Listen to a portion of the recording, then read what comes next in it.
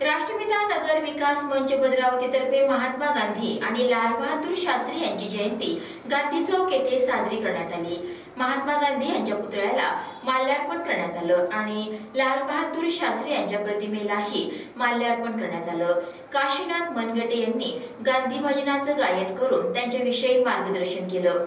या कार्यक्रमाला राष्ट्रपिता नगरविकास मंचचे अध्यक्ष धनंजय गुंडावार धर्मेंद्र हवेलीकर रवी पवार सूरज गावंडे दिलीप ठेंगे डॉक्टर यशवंत घुमे जावेद शेख भाऊराव कुटेमाटे जयदेव खाडे ओमप्रकाश वैद्य सुरेश मांढरे उपस्थित होते.